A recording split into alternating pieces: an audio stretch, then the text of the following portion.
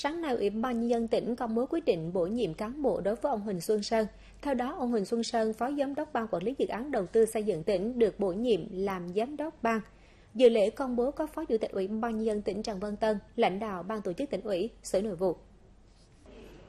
Theo quyết định bổ nhiệm cán bộ của Ủy ban Nhân dân, ông Huỳnh Xuân Sơn, Phó Giám đốc phụ trách Ban Quản lý Dự án Đầu tư xây dựng tỉnh được bổ nhiệm làm Giám đốc Ban có thời hạn kể từ ngày 1 tháng 9 2021.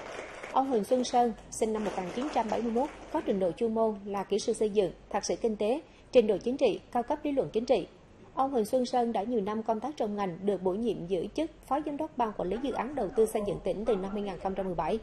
Từ khi ông Đặng Bá Dự, Giám đốc ban được điều động bổ nhiệm làm Giám đốc Sở Công Thương, ông Huỳnh Xuân Sơn được phân công làm Phó Giám đốc phụ trách Ban Quản lý Dự án Đầu tư xây dựng cho đến nay.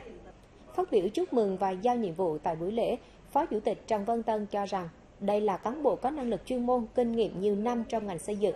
Việc được tín nhiệm, bổ nhiệm, giữ chức Giám đốc Ban Quản lý Dự án Đầu tư xây dựng tỉnh sẽ là động lực để cá nhân ông Huỳnh Xuân Sơn và tập thể Ban Quản lý làm tốt hơn nữa nhiệm vụ được giao nhất là tập trung rà soát, tháo gỡ những vướng mắc, đẩy nhanh việc thi công hoàn thành các dự án đang thực hiện, góp phần thúc đẩy phát triển kinh tế xã hội trên địa bàn tỉnh.